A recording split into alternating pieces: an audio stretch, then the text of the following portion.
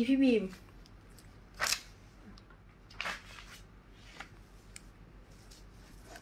สวัสดีครับผม สวัสดีครับผมขออฝากพี่น้องนะฮะฝากกดไลค์กดแชร์นะฮะ เดี๋ยวผมจะมาชี้แจงทุกประเด็นนะครับ วันนี้นะครับ สวัสดีทุกคนนะครับ ผม สวัสดีครับ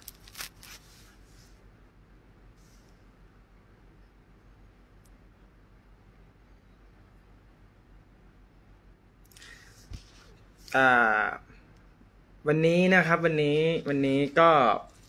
ผมก็ได้ไปพบผู้ใหญ่หลายคนหรือว่าหลายกลุ่มครับ หลายกลุ่มนะฮะนะครับ พี่น้องฟังผมนะฮะผมเคยบอกกับพี่น้องว่าอาชีวะของเราหรือกลุ่มเราอาอาชีวะพิทักษ์ประชาชนเพื่อประชาธิปไตย เรามีแนวทางการเคลื่อนไหวของเรา มีแนวทางการต่อสู้ของเราคือหนึ่ง หนึ่งนะครับ เราต้องการเรียกร้องให้ประยุทธ์จันโอชานายกลาออกพร้อมสวนะฮะให้มีการร่างรัฐธรรมนูญใหม่นะฮะนี่คือแนวทางชัดเจนของเรานะครับ ถ้านอกจากนี้นะฮะเราจะไม่ต้องการนะครับ ผม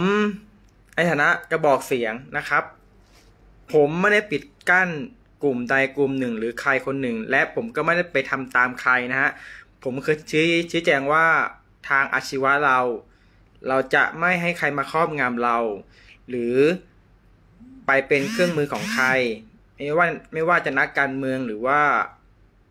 พรรคการเมืองหรือสสคนไหนนะฮะ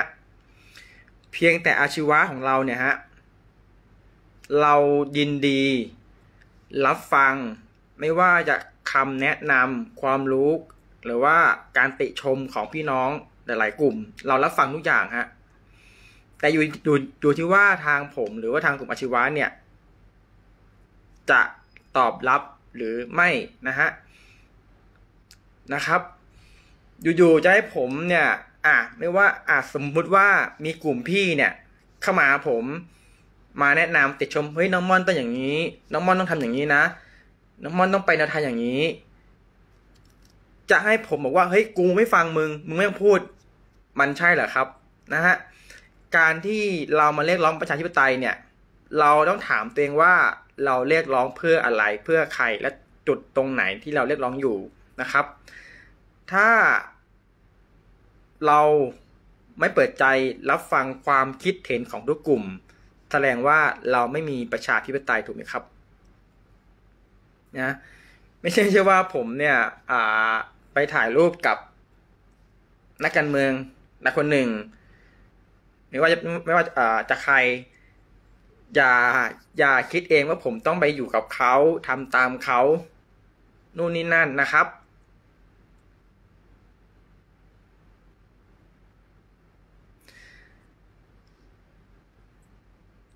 ถ้าไม่แตะข้อสามทำไมไปร่วมกับกลุ่มฟรียูล่ะครับ โทษนะครับ ผมผมพูดจริง ๆนะครับ ผมเคารพ ทุกกลุ่มและผมไม่ไม่เคยไปก้าวล่วงกลุ่มไหนว่าเขาจะเรียกร้องตรงไหนจุดไหนยังไงนะครับ นั่นคือประชาธิปไตย ผมไม่ได้ไปเขาเรียกอะไรอะไปบังคับกลุ่มไหนเฮ้ยคุณกลุ่มนี้กลุ่มนี้ต้องทำตามอาชีวะนะ คนนี้ต้องทำตามผมนะ ถ้าใครไม่ทำตามผมขับออกจากกลุ่ม ไล่ออกจากการเรียกร้องการต่อสู้ ผมไม่ได้ทำแบบนั้น ผมไม่ได้มีทางแบบนั้นครับนะฮะ อย่างที่ผมเคยบอกว่า ผมยินดียินดีรับฟังน้อมรับทุกคำแนะนำคำติชมหรือความรู้ต่างๆ ที่เป็นประโยชน์ เกี่ยวกับแนวทางการต่อสู้ของเรานะฮะการการที่เราจะตัดสินใคร คนคนหนึ่งเนี่ย ไม่ใช่ว่าเราตัดสินเพียงแค่ว่าเราได้ยินมา เขาเล่ามา แล้วเราก็ไปตัดสินคนนั้นว่าไม่ดีบ้าง ว่าเป็นอย่างนี้บ้าง เพียงแต่เรารับฟังมาแต่ว่าเขาเล่ามา เราก็ตัดสินต่อมันไม่ยุติธรรมครับ ก่อนพี่น้องจะตัดสินผมว่าดีไม่ดีหรือว่ามีอุดมการหรือไม่มีไม่มีอุดมการนะครับ ให้ดูผมกระทำและให้ดูผมกำลังทำอยู่ตอนนี้ แล้วค่อยตัดสินผม ผมจะไม่ เถียงแม้แต่คำเดียวจะไม่โต้ตอบไม่ได้อย่างเดียวนะครับนะครับ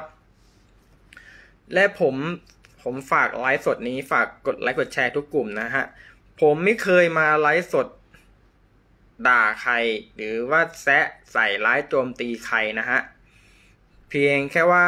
ถ้าผมถูกกล่าวหาจากกลุ่มใดหรือบุคคลใด ผมก็มีสิทธิแจงถูกไหมฮะ เมื่อเราถูกกล่าวหา เราก็มีสิทธิ์ที่จะชี้แจงความจริงทุกอย่างถูกไหมครับนะครับ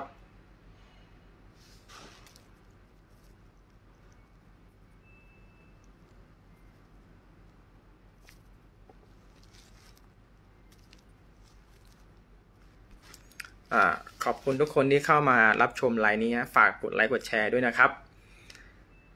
ที่ผ่านมาผมก็โจมตีอยู่ฝ่ายเดียวคือฝ่ายรัฐบาลนะฮะนะครับ ผมไม่เคยมาโจมตีหรือด่าฝ่ายเดียวกันนะฮะหรือว่าคุณจะโพสโจมตีผมหรือว่าวิจารณ์วิเคราะห์นั่นก็สิทธิ์ของพี่น้องทุกคน ผมไม่ได้มาปิดกั้นอะไรนะครับ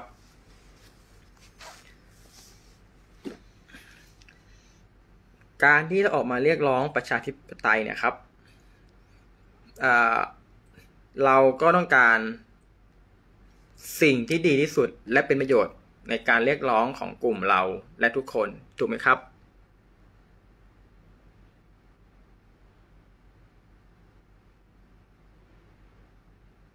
ใช่ครับ คือผมเนี่ย ผมไม่ใช่ว่าอะกลุ่มนี้มาแนะนำผม ผมก็รับฟัง คนที่ไม่ชอบผม มาคุยกับผม ผมก็รับฟัง คนที่เกลียดผม ผมไม่ได้ปิดบังเขา ผมก็คุยกับเขาว่าเฮ้ยคุณไม่ชอบผมตรงไหน คุณเกลียดผมตรงไหน คุณบอกมาเลย ผมได้ชี้แจงถูก ถ้าเราไม่ให้ให้อ่าอ่าถ้าถ้าเป็นพี่น้องอ่าพี่น้องคนไหนที่ไม่ชอบคนนั้นนะฮะเราก็ให้ควรที่ให้คนที่ไม่ชอบเราเนี่ย ชี้แจงว่า อ่า คุณเกลียดผมตรงไหน ไม่ชอบตรงไหน มีตรงไหนบ้างนะฮะ คือการที่เราคุยกันคือดีที่สุด ไม่ใช่ไม่ใช่ว่าเฮ้ยกูเกลียดมึง ต้องไปวิ่งทำร้ายกัน หรือว่าอ่าไปไล่ยิงกันทำร้ายกันนะครับ ทุกอย่างจบที่การคุยฮะและการยอมรับซึ่งกันและกัน ผมถึงบอกว่าหนึ่งพันคนเนี่ย จะให้หนึ่งพันคนเนี่ย มันถูกใจเราทุกคน มันก็เป็นไปไม่ได้ถูกไหมครับ ไม่มีสิ่งไหนที่ถูกใจเราทุกอย่างถูกไหมครับ ผมใช้เหตุและผลในการพูดคุยนะฮะ วันนี้ผมก็ขอมาชี้แจงนะฮะ ชี้แจงแล้วก็อีกเรื่องหนึ่งนะครับ เรื่องการรับบริจาคนะครับพี่น้องครับ ผมได้ไปเจอมวลชนพี่น้องอ่ามวลชนในในม็อบเขาบอกผมว่าทำไมน้องม่อนไม่เปิดรับบัญชีหน้าเพจ นะครับ หลายคนถามนี้ว่าบางคนเขามาไม่ได้ เขาอยากช่วยค่าอาหารค่าน้ำผมชี้แจงอย่างนี้ว่านะครับ พี่น้องฟังผมนะครับ ถ้าพี่น้องคนไหนนะฮะต้องการช่วยเหลืออาชีวะนะครับ ให้ติดต่อไปทางเพจ ทางเพจอ่าถ้าใครเล่น Facebook นะฮะเข้าเพจพิมพ์ว่าอาชีวะพิทักษ์ประชาชนเพื่อประชาธิปไตยนะฮะ เข้าไปเพจนี้ติดต่อทางเพจทางแอดมินนะฮะ จะไม่ว่าเป็นจะเป็นอุปกรณ์ต่างๆ หรือว่าพี่น้องช่วยสมทบสมทบทุนอาหารน้ำติดต่อไปทางเพจเลยนะครับ ตอนนี้ผมได้คุยแล้วก็ได้ทำการ เปิดบัญชีร่วมนะฮะบัญชีร่วม 3 คนนะฮะสามคน สามคนนะฮะทางกลุ่มอาชีวพิทักษ์ประชาชน เพื่อประชาธิปไตยแล้วทำการเปิดบัญชีกลุ่มร่วม 3 คนนะฮะในบัญชีนี้จะมีชื่อผมอยู่ด้วยนะฮะอีก 2 คนเป็นพี่ๆในกลุ่มอาชีวะที่ดูแลเรื่องต่างๆนะฮะทุกอย่างที่ผมพูดไปนี้เป็นความจริงทั้งหมด ถ้าสิ่งที่ผมพูดไม่เป็นความจริงให้ไปเอาผมไปวิจารณ์หรือโจมตีได้เลยนะฮะ ไปสอบถามทางเพจทางแอดมินได้เลยว่าสิ่งที่ผมพูดจริงหรือเปล่านะฮะ ทุกอย่างที่พี่น้องจะบริจาคช่วยทางกลุ่มอาชีวะนะฮะ จะเป็นอุปกรณ์ต่างๆ ให้ติดต่อทางเพจเลยนะครับ และพี่น้องคนไหนที่อยากช่วยอาชีวะด้วยการสมทบทุนเป็นเรื่องอเงินนะฮะติดต่อทางเพจเลยนะครับ ผมบอกทางกลุ่มอาชีวะของผมว่า ของทุกอย่างที่พี่น้อง บริจาคให้อาชีวะ ผมจะไม่ยุ่งเกี่ยวแม้แต่อย่างเดียวนะฮะรวมแม้กระทั่งเงินบริจาคที่พี่น้องบริจาคมาให้กลุ่มอาชีวะ ผมบอกกับกลุ่มอย่างนี้ว่า เมื่อเราเปิดบัญชีแล้ว ร่วม 3 คนมีชื่อผมอยู่ในนั้น แต่ผมบอกทางกลุ่มว่า ผมจะไม่ขอยุ่งเกี่ยวเรื่องเงินแม้แต่บาทเดียวนะฮะไม่ต้องมาถามผมนะฮะนะครับว่ายังไงนะฮะ เงินทุกอย่างที่พี่น้องบริจาคมานะจะมีทีมงานนะฮะมีทีมงานมีแอดมินช่วยกันจัดแจงเรื่องเงินเป็นค่าน้ำค่าอาหาร ค่าเดินทางให้น้องๆอาชีวะนะฮะผมชี้แจงนะฮะผมไม่ดราม่าและก็ไม่โลกสวยนะ ผมพูดจริงทำจริงนะครับนะฮะถ้าคำพูดทั้งหมดที่ผมพูดมาไม่เป็นความจริงไปสอบถามทางแอดมินกลุ่ม เพจอาชีวะพิทักษ์ประชาชนได้เลยว่าผมพูดอย่างนี้จริงไหมทำจริงไหมนะครับ และถ้าพี่น้องท่านไหนพบ พบว่ามีใครบางคนเอาโลโก้กลุ่ม หรือหน้าเพจผมไปเปิดรับบริจาคที่ไม่ใช่บัญชีกลุ่ม ให้ติดต่อติดต่อมาทางผมหรือทางเพจนะ เราจะทำการแจ้งความนะฮะว่าเป็นการหลอกลวงประชาชนนะครับชัดเจนนะครับ นะครับ ผมไม่ดราม่าผมเป็นรูปผู้ชายพอผมพูดจริงทำจริงนะฮะคนจริงนะฮะตรวจสอบผมได้นะครับ อยากรู้อะไรกับผม อย่าไปตัดสินผม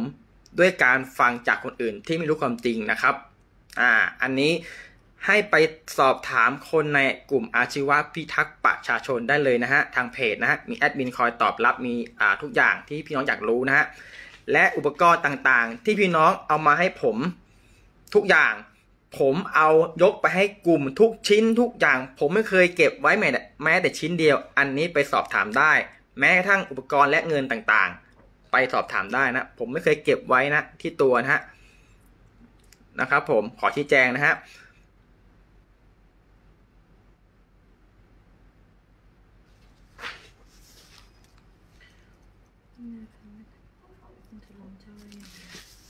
อาชีวะฟังผมนะครับ พี่นักรบนะอ่าทางอาชีวะเรามีแนวทางคือหนึ่งเราป้องเรามีเราไปทำหน้าที่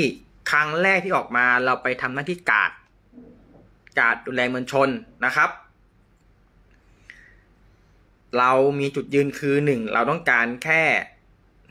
เรียกร้องให้รัฐพลเอกประยุทธ์เนี่ยนายกลาออกพร้อมสวนะครับ กับแก้ไขรัฐธรรมนูญนะครับ นะครับ ผมไม่ได้มีเจตนาเจตนาที่จะไปอ่าล้มเจ้า ล้มล้างแต่ผมไม่เคยมีความคิดแบบนั้นนะฮะนะครับ เราเคารพทุกคนเราไม่ได้ไปก้าวล่วง คือการเรียกร้องประชาธิปไตยนะฮะทุกคนมีสิทธิ์คิดถูกไหมครับ ทุกคนมีสิทธิ์คิดมีสิทธิ์ที่จะทำหรือหรือดูหรือดูแลอะไรนะฮะเราไม่ได้ไปขัดขวางใครที่จะทำอะไรนะครับ เรามีแนวทางของเรานะฮะ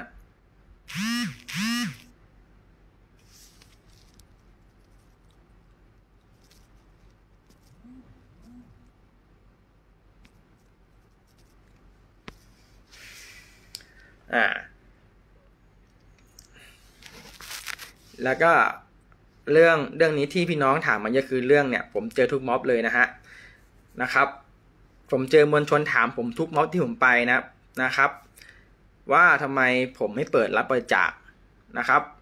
พอผมคือภาพผมเนี่ยอะผมอันนี้กว่าไม่ดราม่าพูดความจริงนะ ผมเปิดบริจาคปุ๊บอะก็หาว่าผมเนี่ย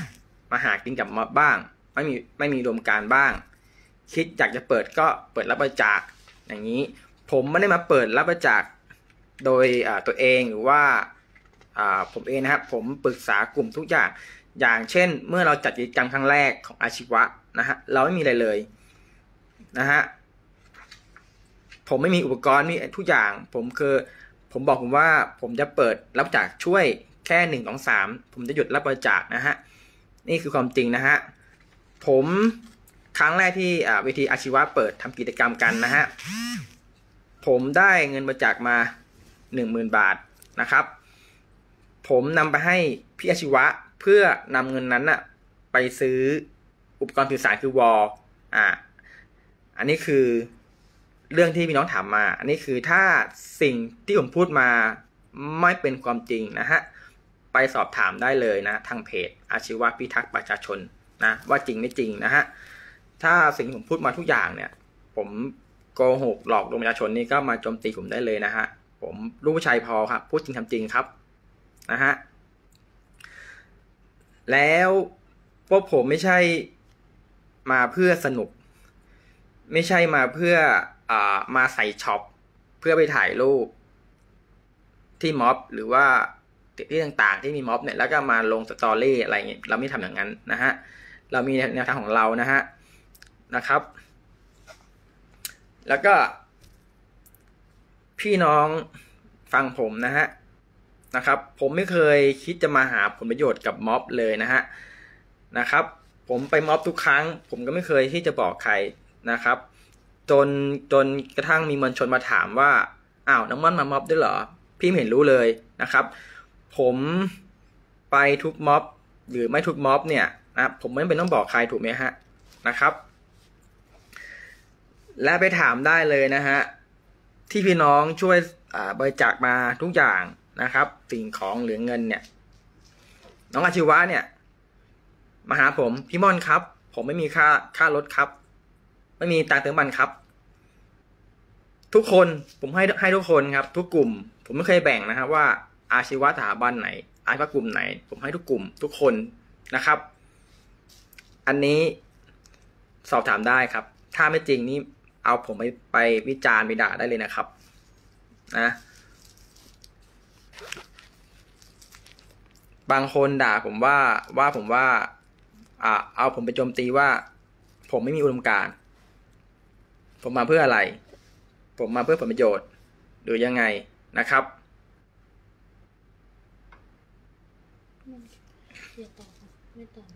อ่านะครับ ทุกคนชัดเจนนะครับ ถ้าถ้าพี่น้อง พี่พี่น้องต้องการที่จะเอาอุปกรณ์ไม่จะเป็นหน้ากากแก๊สกันแก๊สน้ำตา หรือน้ำหรืออาหาร หรือเงินนะครับ ให้พี่น้องเนี่ยติดต่อไปทางเพจ อาชีวะพิทักษ์ประชาชนได้เลยนะครับอ่าสอบถามแอดมินเรามีทีมงานในการดำเนินงานต่างๆนะฮะนะครับ และ ของทุกอย่างถึงมือพี่น้องอาชีวะแน่นอนนะครับ แล้วถ้ามีเพจไหนหรือมีบุคคลใดเอาโลโก้ของอาชีวะพิทักษ์ประชาชน ไปโพสต์และบริจาคแต่บัญชีนั้นน่ะไม่ใช่มีชื่อผมอยู่สามคน อย่าบริจาคนะฮะท่านกำลังโดนหลอกลวงนะครับ ในบัญชีนั้นจะมีเจ้าของจะมีคนอยู่สามคน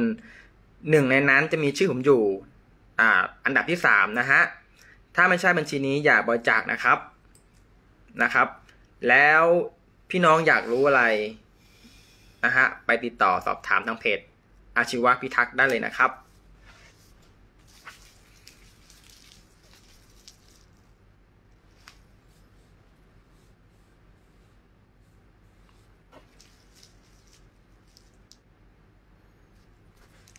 อ่า เดี๋ยวเดี๋ยวผมจะให้ทางเพจอาชีวะพิทักษ์ประชาชนอ่าโพสต์บัญชีไว้หน้าเพจนะฮะนะครับว่ามีชื่อใครบ้างนะครับ คือในบัญชีนั้นน่ะจะมีอ่า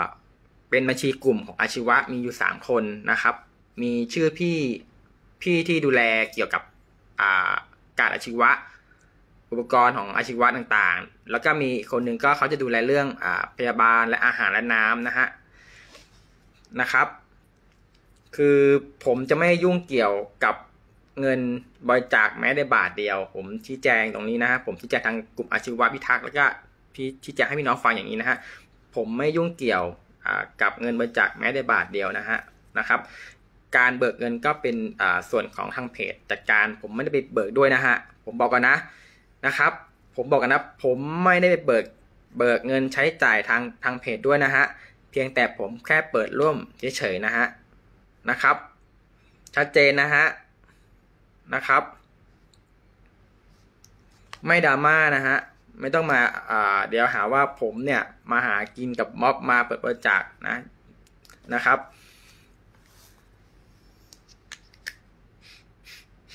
เดี๋ยวเดี๋ยวผมขอดูก่อนนะว่าเป็นงนะ อ่าแป๊บนึงนะครับ ชื่อบัญชีใช่ไหมครับแป๊บนึงนะ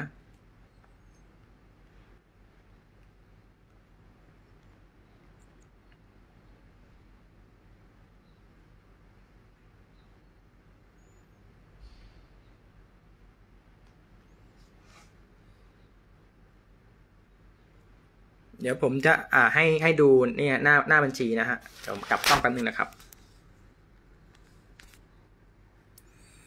นี่นะครับเป็นบัญชีกสิกรไทยนะฮะอ่าชื่อบัญชีลำดับที่หนึ่งคือ นางสุสุสุรีพรบุญช่วย และนายเศรษฐากรหน้าหน้าชม และนายธนเดชศรีสงครามนี่นะฮะตามนี้นะครับ นี่คือนี่นี่คืออบัญชีกสิกรไทยเป็นของกลุ่มอาชีวะพิทักษ์ประชาชน ที่พี่น้องท่านไหนนะฮะช่วยสมทบทุนต่างๆ ค่าอาหารอุปกรณ์ทุกอย่างนะฮะบัญชีตามนี้นะครับสามชื่อนะฮะหนึ่งนางสุขสุรีพรบุญช่วย และนายเศรษฐกรหน้าชม และนายธนเดชศรีสงครามนะครับ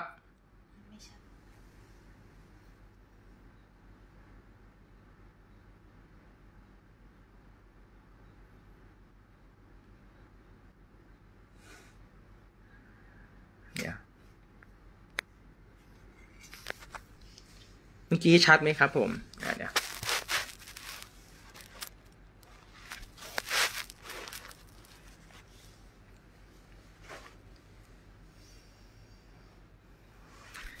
เดี๋ยวงี้นะฮะ เดี๋ยวเดี๋ยวพอ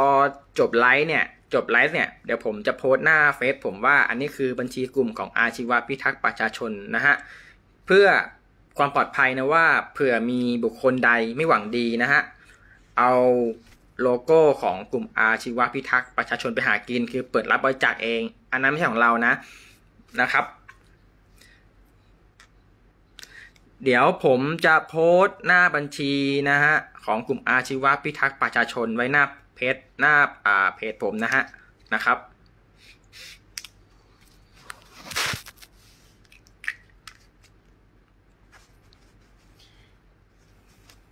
สวัสดีครับผม สวัสดีครับ ฝากกดไลค์กดแชร์ด้วยนะครับ ก็ฝากพี่น้องนะพี่น้องฝากกดไลค์กดแชร์ด้วยนะครับย้ำนะฮะ ย้ำนะฮะ เดี๋ยวผมจะโพสต์หน้าหน้าบัญชีของกลุ่มอาชีวะพิทักษ์ประชาชน ให้พี่น้องได้รับทราบนะฮะ ถ้ามี ถ้ามี ถ้ามีอ่าคนไหนบุคคลไหนเอาโลโก้ของกลุ่มอาชีวะพิทักษ์ประชาชนแล้วไปโพสต์และบริจาคอันนั้นคือหลอกลวงเท็จนะครับเขาบอกให้ปักหมุดเลขบัญชีเนี่ยหนูพิมพ์ไว้พี่ปักนะ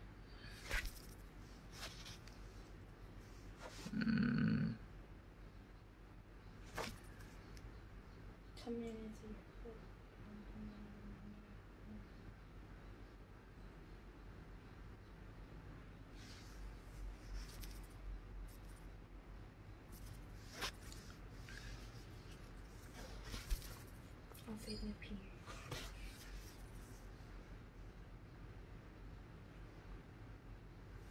อ เดี๋ยวเดี๋ยวเดี๋ยว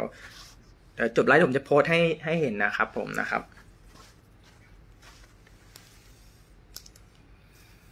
สวัสดีครับผม สวัสดีครับ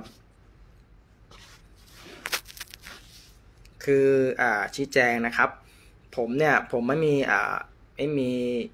อำนาจมีสิทธิ์ใดที่ไปตัดสินใครใครคนหนึ่งว่าคนนั้นไม่ดี คนนั้นแม่งทรยศ คนนั้นแม่งไม่มีอุดมการณ์ นะครับ ผมไม่มีสิทธิ์ไปตรงนั้น ผมไม่มีแม้แต่ไปคิดว่าเขาเป็นคนไม่ดี ทั้งๆที่ผมไม่ได้รู้จักเขานะฮะการที่เราจะตัดสินตัดสินใครสักคนหนึ่งนะครับ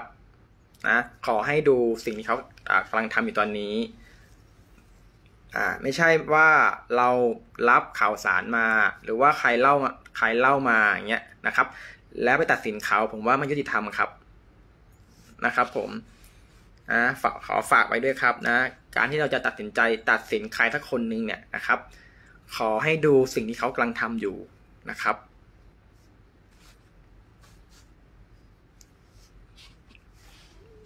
มีใครจะสอบถามอะไรไหมผมได้ชี้แจงนะฮะ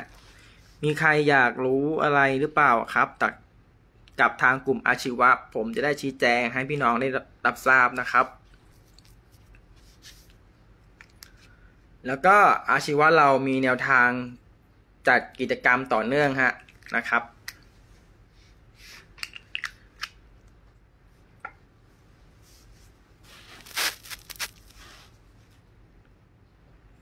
สวัสดีครับผม สวัสดีครับ สวัสดีพี่ๆทุกคนนะครับ มดอีกทีวันไหน ชัดเจนนะครับ ชัดชัดเจนเรื่องการบริจาคนะครับ เพราะมีพี่น้องพี่น้องอ่ามวลชนหลายคนหลายท่านถามผมตลอดนะว่าทำไมผมไม่เปิดรับบริจาคนะครับ ชัดเจนนะผมผมถือว่าผมชี้แจงนะครับ ถ้าพี่น้องท่านไหนอยากจะบริจาคอุปกรณ์นะครับต่างๆ ติดต่อทางเพจเลยนะครับ แล้วก็ จะสมทบทุนเรื่องเงิน จะค่าน้ำค่าอาหารต่างๆ ทุกอย่างติดต่อทางเพจอาชีวะพิทักษ์ประชาชนนะครับ เพราะผมตัวผมไม่ได้ไปยุ่งเกี่ยวตรงนั้น หรือว่าเงินแม้แต่บาทเดียวนะฮะคำพูดเป็นนายครับนะ ถ้าสิ่งที่ผมพูดไม่เป็นความจริงนะฮะโจมตีผมได้เลยนะครับ หรือว่าเอาไปวิจารณ์ได้เลยนะ เอาไปด่าได้เลยผมไม่เถียงนะฮะ ราะสิ่งที่พูดคือความจริงนะครับ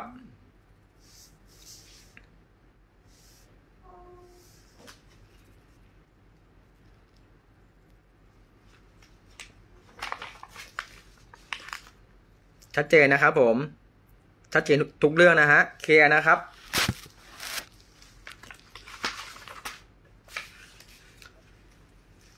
สวัสดีครับผม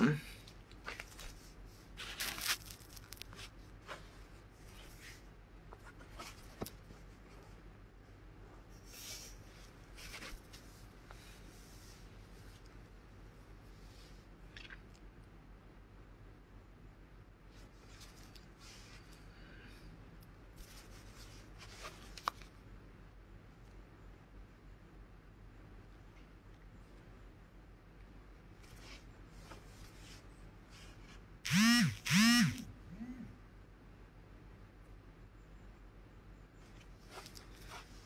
อ่า นะครับ สวัสดีครับผม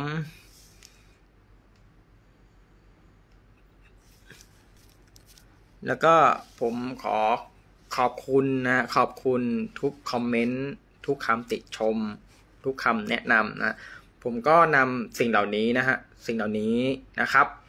รวบรวมทุกอย่างไว้เป็นประโยชน์เป็นแนวทางในการต่อสู้นะครับ เพราะผมไม่เคยปิดกั้นปิดกั้นใครนะฮะที่ต้องการประชาธิปไตยเหมือนเรานะฮะถ้าพี่น้องท่านไหน ถ้าพี่น้อง อ่าแค้นในพวกที่ถีบผู้หญิง ผมก็ไม่เห็นด้วยครับ ผมก็ไม่อ่าไม่เขาเรียกอะไร มันไม่ใช่ลูกผู้ชายที่ไปเตะผู้หญิงนะนะครับ ผมถ้าถามผมนะครับ นะนะครับ ผม เพราะผมก็ไม่เคยไปเตะผู้หญิงครับนะครับ ถ้าตอบจริง ๆก็ การที่เราเป็นผู้ชายไปทำร้ายผู้หญิงไม่เตะเนี่ย มันก็กลายเป็นว่าเราไปทำร้ายผู้หญิง ไปทำร้ายผู้คนที่ทางสู้นะฮะคือความคิดผมนะ เหตุผลนะ ถ้าความคิดผมนะครับนะครับ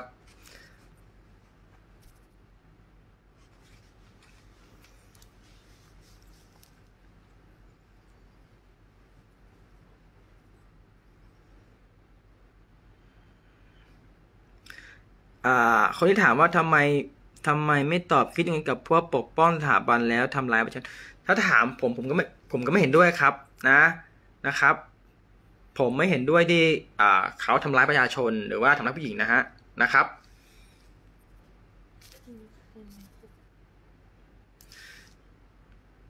แล้วก็อ่าผมขอไม่ตอบผ่านสื่อนะครับ นะ ผมขอไม่ตอบผ่านสื่อนะว่า ผมจะไปม็อบยังไงไปม็อบไหนไม่ไปไปม็อบกี่โมงถึงกี่โมงนะครับ นะ พี่น้องรู้ดีครับว่าผมไปไม่ไป เพราะพี่น้องเจอผมอยู่แล้วนะฮะบางคนยังยังมาถามผมเลยว่าอ้าวน้องม่อนมาด้วยเหรออ้าวนะครับ คือผมจะไม่อ่า ไม่ต้องไม่ไม่จำเป็นต้องไปประกาศนะครับ ว่าผมไปหรือไม่ไปนะ พี่น้องเห็นผมคือนั่นผมไปนะครับ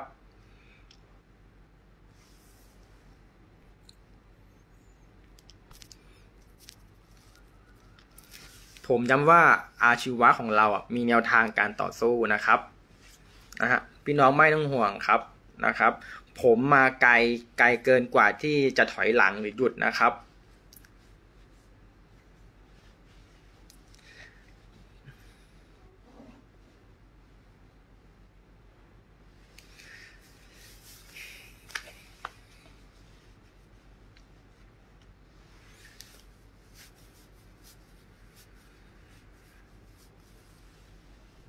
เมื่อก่อนเห็นพวกเมื่อก่อนเราไม่ได้เพราะว่าอะไรคิดว่า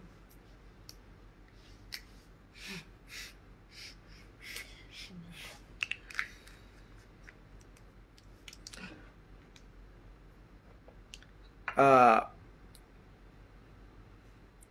ใครเนี่ย ทุกข์มาก นะครับ คือ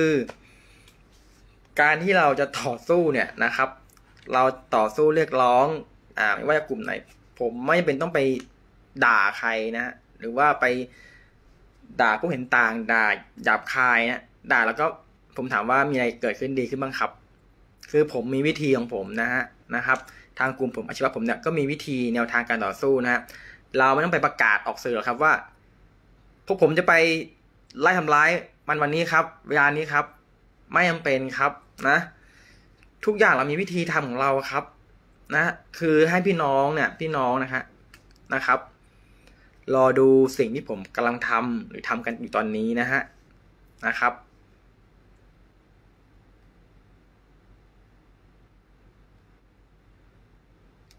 นะครับ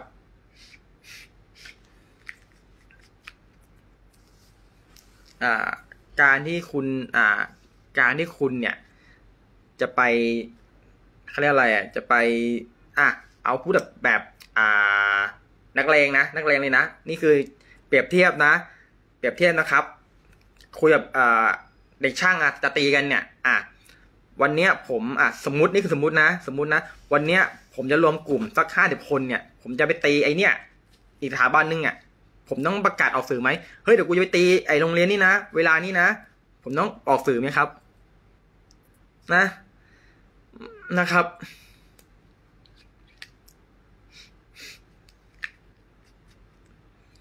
นะนะครับ หรือว่าผมจะไปทำร้ายใครสมมุตินะ ผมจะไปทำร้ายใครเนี่ย ผมต้องมาบอกสื่อให้ตำรวจรู้ไหมครับ ให้ให้อ่าศัตรูผมรู้ไหมครับ อืม นะครับ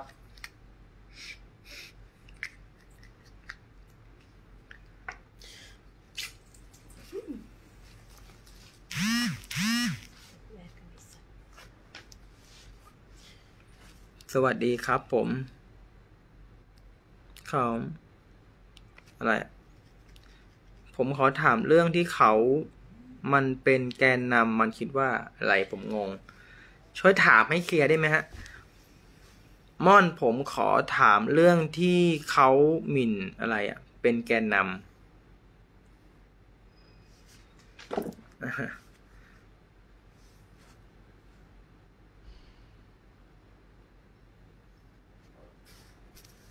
นะครับ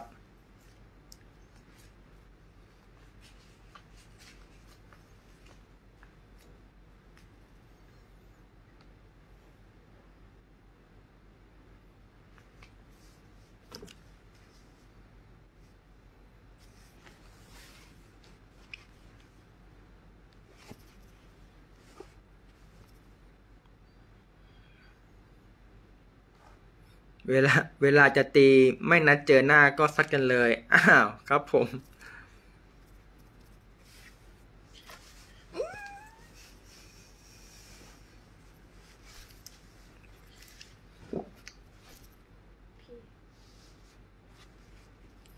อ่า ขอฝากนะ ใครที่จะด่าผม หรือไม่ชอบผม นะครับ ฟังเลยนะ ใครที่ไม่ชอบผม หรือจะด่าผมแม้กระทั่งฝ่ายตรงข้ามหรือใครก็แล้วแต่นะฮะผมไม่จำเป็นต้องไปด่าตอบหรือโต้ตอบนะฮะนะครับ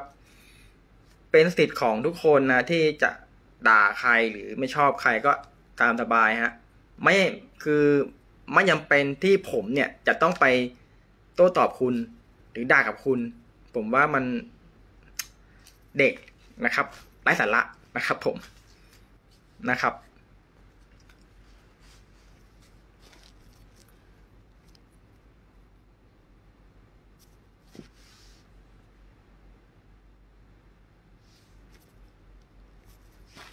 ผมไม่มาเสียเวลากับเรื่องไร้สาระเล็กๆน้อยๆนะฮะครับผม ก็ผมได้ชี้แจงไปแล้วนะครับ ที่พี่น้องอยากรู้สงสัยข้องใจต่างๆนะครับ นะฮะก็เราต้องดูที่การกระทำนะฮะผมจะให้เวลาเป็นเครื่องพิสูจน์นะครับ ถูกไหมครับ ผมขอใช้เหตุและผลนะฮะในการกระทำนะฮะและการชี้แจงนะครับ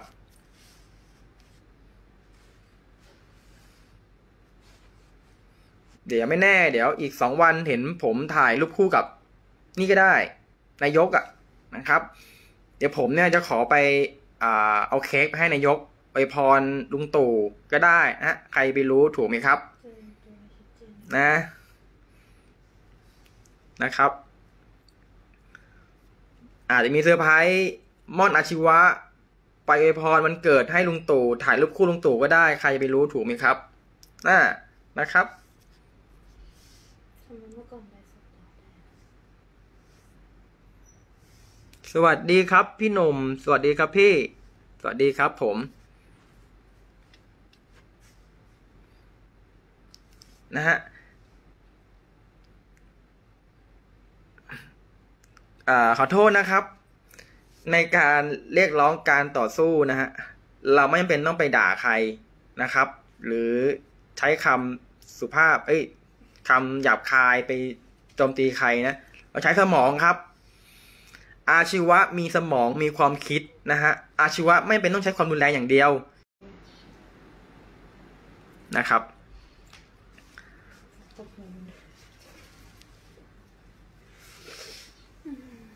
นะครับผม ผมพูดถูกไหมครับ คืออาชีวะเราก็มีสมองมีความคิดนะครับ อาชีวะไม่มีแค่ต้องการใช้กำลังหรือความรุนแรงถูกไหมครับ นะฮะ นะครับผม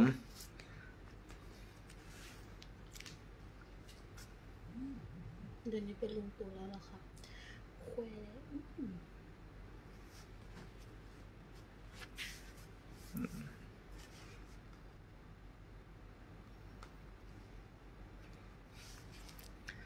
ก็ผมได้ชี้แจงแล้วนะครับ อ่า ชี้แจงเดี๋ยวผมจะอ่า จบไลฟ์สดนี้นะฮะผมจะโพสต์เป็นบัญชีของกลุ่มอาชีวะพิทักษ์ประชาชนนะฮะไว้หน้าเพจผมนะครับ ถ้าพี่น้องท่านไหนนะฮะที่จะสมทบทุนก็ติดต่อไปทางเพจนะครับ หรือว่าอ่าบริจาคมาแล้วสามารถส่งสลิปไปทางเพจ อาชีวะพิทักษ์ประชาชนได้นะครับ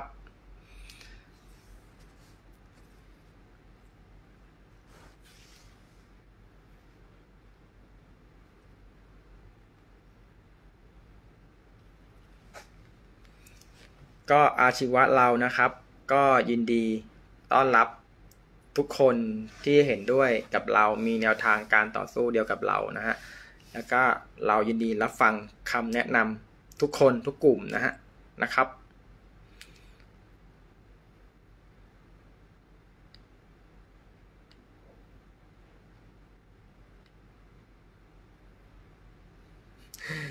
ตอนนี้ก็ไม่รู้ว่าจะ I O I Z I Q หรือ I อะไรก็แล้วแต่นะ ตามสบายครับผมนะนะไลฟ์ผมไม่ปิดกั้นใครนะฮะ ไม่ว่าจะเป็นสลิมไม่สลิมหรือว่าจะเป็นบัวลอยไข่หวาน จะเป็นลอดช่อง จะเป็น I O I Z I Q I A I B ก็แล้วแต่นะฮะ เชิญตามสบายเชิญคอมเมนต์ครับนะนะครับ ผมเปิดใจ ผมเปิดใจครับ ผมใจกว้างฮะ เราไม่ไปปิดกั้นนะฮะ คุณอยากจะคอมเมนต์อะไร อยากจะพิมพ์ตามสบายครับผมนะฮะ เราไม่จำกัดนะครับ โอเคนะครับผม อ่า ก็ก็เดี๋ยวผมขอจบไลฟ์สดเพียงเท่านี้นะฮะ เดี๋ยวถ้ามีอะไรชี้แจงนะครับ เดี๋ยวพบกันใหม่นะครับ ผมก็ฝากไว้ให้พี่น้องทุกคนนะฮะสู้ๆครับ อย่าเพิ่งท้อนะฮะนะครับ ความจริงคือความจริงนะครับ อืมสู้ๆครับผม ก็ผมขอจบไลฟ์เพียงเท่านี้นะครับ สวัสดีครับ